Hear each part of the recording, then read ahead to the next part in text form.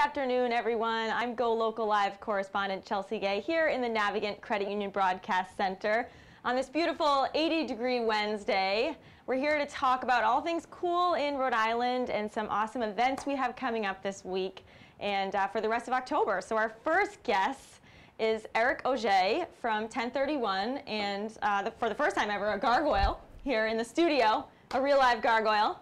So, um, we're going to talk to them both a little bit about uh, 1031 and, and what's coming up in October for Absolutely. the company. So we're really excited to have you guys on the show. Thanks for joining us. We are happy to be here. So Eric, tell us a little bit about 1031 and what it is. I'm sure our viewers have seen the likes of uh, this gargoyle here walking around Waterfire in Providence. Of course, the world famous Waterfire gargoyle. Yes, of course. I'm sure they've been creeped out by, by gargoyle once or twice. yes, we have been in existence for 18 years. Um, 1031 stands for Halloween, the date, October 31st, of course. There we go. And uh, we have the luxury and the privilege of making pretend and pretending it's Halloween every single day, traveling not only um, around the country but around the world, um, performing as different kinds of characters, entertaining people at parties and celebrations. And so I've heard you guys explained as living art. And Yes. so, and that makes perfect sense for what it is you do. But give us some other examples of, of the characters that you create and where they may be seen around the country, not just Rhode Island. Yeah, sure, of course. We basically have three different categories of characters. We have our human statues, which the gargoyle is part of. Um, we also have human nature, which is a whole series of people based, um, their costumes are based on nature and plants, such as trees and flowers and things like that. And then we have our live action category, which basically takes everything else, including the kitchen sink, and throws it in all together. We have everything from um, literary and movie classics from like Alice in Wonderland, Wizard of Oz, to um, fantastical original creations. Awesome. And uh, that's basically what our collection consists of.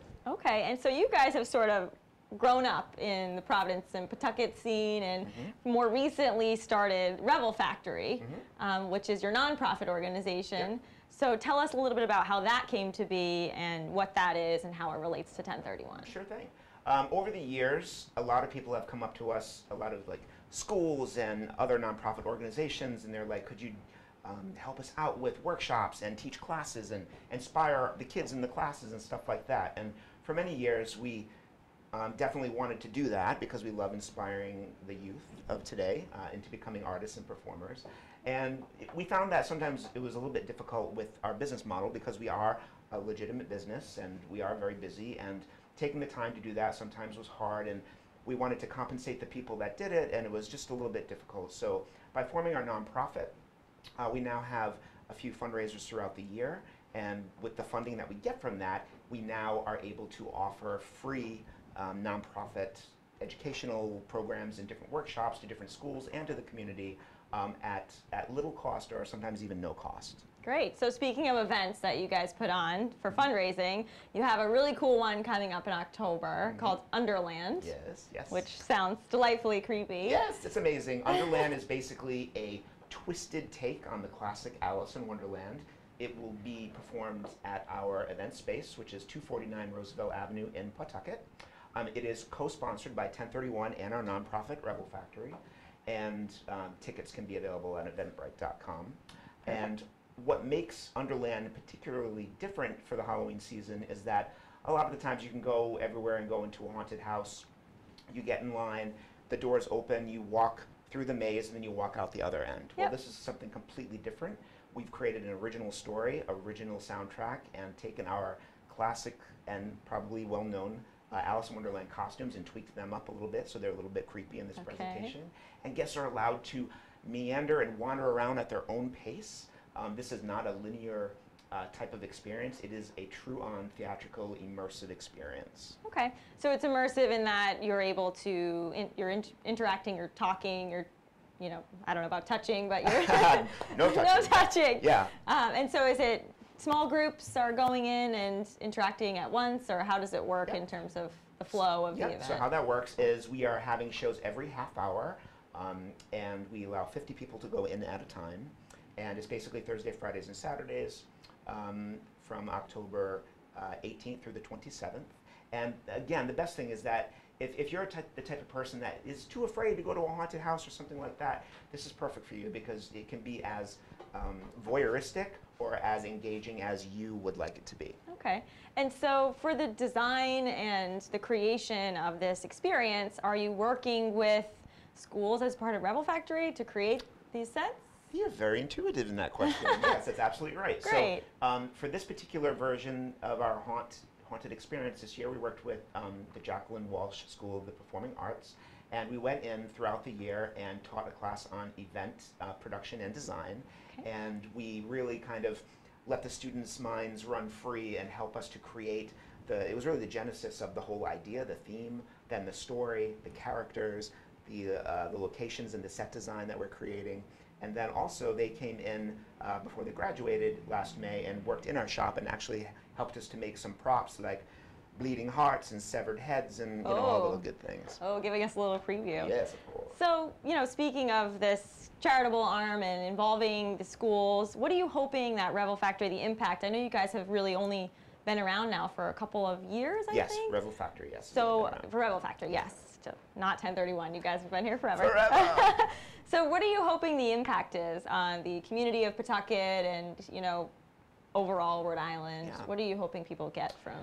I mean, throughout 1031's entire existence, we've just been very open, you know, to the universe as far as uh, what has been offered to us. And it just so happened with the location that we're at now, we have an event space.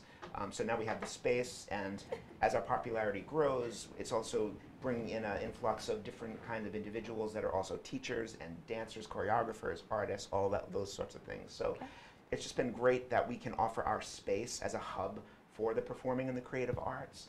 And um, we really don't have any goal per se. It's just that we're opening the doors and people are starting to come in. So that's all. That's really what we can wish for and hope for. And so, besides of you know events like Underland, what on a weekly, monthly basis is happening at the Revel Factory? Are, artists in there, you know, working on different pieces, mm-hmm. just their own pieces, or is it you guys are holding workshops. What's happening over there? All of that.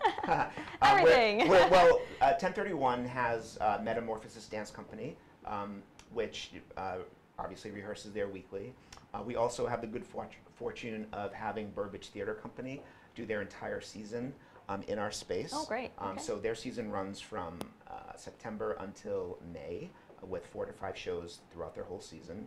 And then when we have openings available, um, it's it's interesting. Things have been happening. We've had some um, some tap dance groups. We've had some a lot of dance groups. Um, some other artists have shown their works there and stuff like that. So things just get peppered in when it's available. Okay, so now going back to 1031, take us back 18 years. Let's get into the time machine. Time, yeah. And yes. uh, you know what prompted living art? Where, where did this idea come from that you have to have a human topiary and a and yeah. a gargoyle statue that jumps out at. Who thinks of this stuff anyway? it's crazy. Um, yeah, I mean, uh, 18 years ago, my business partner and I, Joe Perry, um, we just we, we had nine to five jobs and we wanted a creative outlet. So we were inspired by Waterfire and the atmosphere and the ambiance and um, living statues have been around for many, many, many, many, many, many, many years. Of course. So we we really kind of latched onto that idea. It kind of just came to us and the gargoyles, it was really very spontaneous. It was something that we just kind of thought, let's try it out. And basically, that's really how it happens. Yeah. And, and, we're very lucky. Barnaby Evans spotted us. He loved what we were doing. Uh, he supported us 100%. And he was really the catalyst in trying to find the best spot for us to perform down um, in downtown Providence, um, which we are now at Memorial Park um, for yep. every Waterfire. And the rest is history. Just as the years went by, we created more characters, more people saw us, more people wanted us to come to their events. People at those events saw us, they wanted to go, and so on and so on and so on. And here we are. Great. And so, you know, you said living art and living statues is something that's not new. I mean, you guys didn't reinvent, didn't create them, but how. Yeah. How do you guys differentiate yourselves with your living art that, you know, you guys are national, you guys get to go out to all different cool places. We'll talk about that a little bit, but yeah. what makes you different? I think what sets us apart is our professionalism and our attention to detail. Those are probably the two things. And then thirdly, if I can add a third thing, is really course, the, you can the, add as many yeah, is, is the, the spirit um, that all of our performers embody. Um, you know, we could very easily just put on a costume, go out, do the gig, get paid, walk away. But you know, we're very, very selective. There's a little bit of an arduous uh, audition process that you have to audition to apply to become a performer with us, and then it's a very long time in training, several um, gigs of training, and then we put you on a small show at first, and then as you mature with us, you get more and more responsibility. Um, it's not a mandatory thing, but we do ask that everyone wears multiple hats. So as you're um, growing with the company as a performer, the doors are open for you to become a producer um, and things Great. like that. So it's a combination of, of all those things. And Joe and I really identified at the very beginning that we are basically a carnival act. You know, we are part of the circus. Yeah. It's very unusual that um, what we do. Um, so we really started out at the very beginning to be the best at what we did, and it's it, we've been very blessed and very fortunate because it has set us very far apart from our competitors and our competition. So, what do you think has been maybe the most unique undertaking of a character? I know you probably can't answer this. I don't know. Give me, give me like a The most memorables. Yeah. Um, give me a couple different things. I, I can I can definitely I can answer that question very easily. So we had the luxury of performing in, in Beijing in China, Wow. uh, which uh, was great. Actually, Shanghai in China, but we toured. We, we extended our visit out there and toured China a little bit, um, and that was profoundly uh, impactful and amazing for both of us because we went to a country that we did not know the language, and through our performance, we spoke a universal language with our audience, which was pivotal, you know, in, in our maturity and our just gratitude, you know, about what we do. Um, we performed for the Obama administration wow. um, at, at, at the United Nations conference in New York. Again, I was performing and I was basically the step and repeat for every member of the United Nations. So after I had my photograph taken literally with every member of the United Nations, I was left with, do, do we have to impress anyone anymore? Like, it, and it was very What, humbling. were you, what character were you for that experience? I was a Telamon. Just yourself? I, yes, I was with myself. no, I was, I was a Telamon, which is a, a Greek pillar. Oh, With a, a Okay. capital of a headpiece.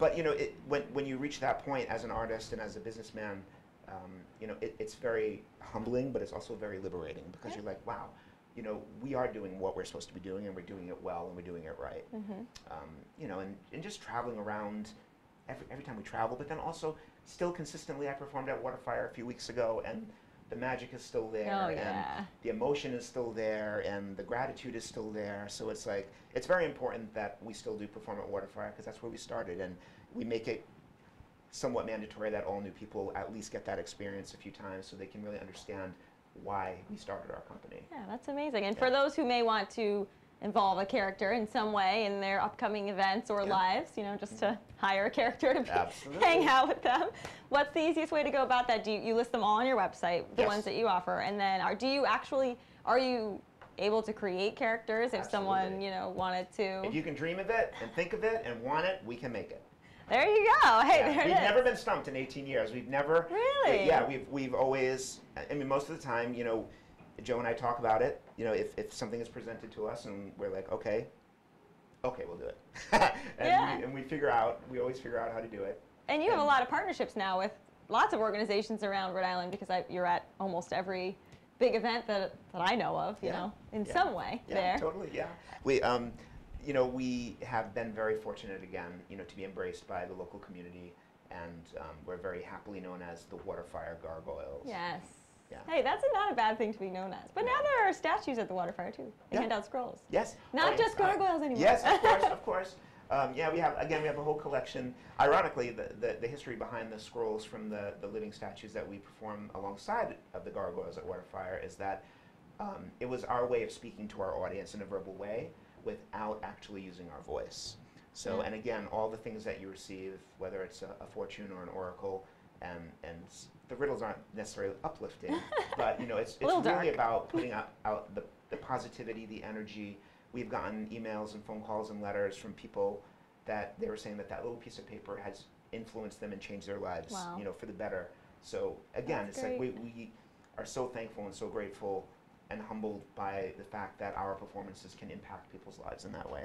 That's amazing. Yeah. And so, speaking of performances, I want to take take it back to Underland because that's the most Oh, exciting thing coming up Yes. in October. You Yes, know, and totally. you know any viewers who have attended Mysterium, I'm sure there are plenty because it's a very well attended event The each Eternal summer. Masquerade. The Eternal Masquerade. Uh, the public library is going through construction this year. It is. Yes. So no Mysterium, but there is an No. Underland ball. Yes. So let's talk about the ball. Yes, yes, absolutely. So um, the Underland Ball is October 27th. It is from 10:31 p.m. until 1 a.m. Ah, It is see what you did there. yes, it is in downtown Pawtucket. Um, and again, what separates this party from any other party that's happening out there is that you are going to be able to celebrate inside of our event space, which is basically the thea- theatrical set for our presentation of Underland. So you can take your selfie at the tea party. You can go into the Mad Hatter shop. Um, you can go into the Queen's Royal Rose Garden, etc. I won't say anything else. Um, I to spoil it. Um, but yeah, it's going to be really, really fun. And it's Awesome. a costume ball, so we encourage everyone to dress in their best Underland best. And you may say, what is your Underland best? Not your underwear. No, no, no, no, no, it's not that sort of party. Well, maybe after midnight it'll become that party. Oh, okay. um, yeah, so under what is your, your best Underland costume? It's really it can be an Alice in Wonderland costume, but twist it up a little bit and make it a little creepy. yeah, like this. Yes. This is where the guy went. Oh, yes. And of course, the, uh, the most important thing is that Underland is part of Mill City Haunts, which is an amazing uh, project that we've been working on for a few years with the city of Pawtucket. And um, we presented it to the mayor a few years ago, and he was very excited about it, and it took us a few years to get going. But basically, what it is, is we are corralling uh, some of the other local businesses, including uh, Slater Mill and City Hall, Excellent. uh, and we are going to be programming um, several nights of Halloween style programming, uh, most of which is free to the public. Um, Underland and Slater Mills attractions do have um, a fee attached to them. But uh, yeah, we're really excited. There's going to be a, um, a light show on City Hall. There's going to be uh, programming at the amphitheater with live music and free movies um, and fun for the whole family. So Mill City Haunts is happening in, tandem with Exactly. yes. Underland. And oh, I wanted to ask one thing. Tickets Yeah. for the ball, Yep. separate from tickets to the performances? Well, funny you should ask. And yes, they are separate, but we have a limited amount of tickets, which um, include the last show of Underland, uh, which is rolled over into the Underland Ball. So from 9:30 until 10, you see the Underland performance. Then you get a special little uh, beverage or treat uh, in the holding area while we reset the space for the party, and then you are the first VIPs into the party. There we go. well. Well. that sounds that sounds amazing. Yeah. So let's hope our viewers check it out and Please at do. least at least attend Underland, if not the ball. Yes. Hopefully both, Yes. because I know if, if anybody's seen the Alice in Wonderland characters, they're pretty incredible. The Cheshire Cat is Maybe you'll see him. oh maybe maybe just his smile. totally. well, thank you guys so much for joining me to talk about this event on this 80 degree uh, I know. I know. October day, which I know this poor gargoyle is going to melt. He's a good boy. oh my gosh. Well, thank you, Eric. Thank you. And Gargoyle, our first gargoyle in studio. Thank you for having me. for us. coming on the show. We hope you guys all check out 1031 Revel Factory and the Underland event. We'll put all the links um, in the editorial so you guys can check that out. And everybody stay tuned. We've got an exciting guest coming up next.